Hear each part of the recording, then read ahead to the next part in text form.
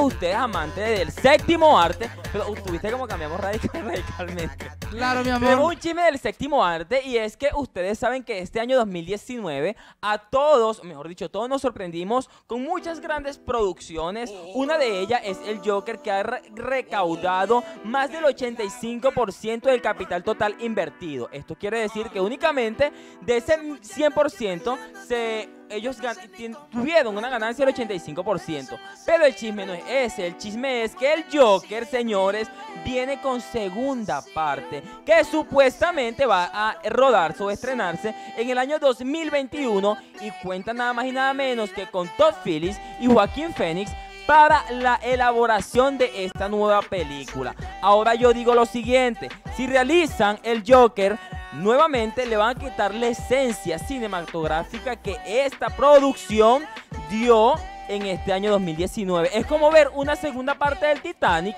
no la va a dar porque ya el Titanic es el Titanic. Bueno, si ya están pensando en una segunda parte, quiere decir que esta película, bueno, recaudó muchísimos millones para hacer la segunda. Si tú no estás de acuerdo, a mí, yo te dije cuando veníamos que estábamos conversando, que bueno, que me parecía que hicieran esta, esta segunda parte del Joker, porque realmente fue un exitazo total. Y bueno, a la gente le va a encantar. A mí me, a mí me encantó el Joker también.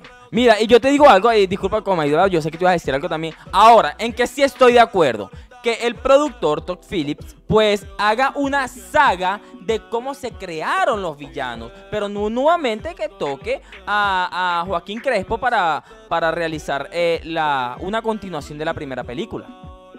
Es lo que yo digo. Bueno, yo de verdad te digo, como yo no sé si el choca, choca, choquete para acá, choquete para allá.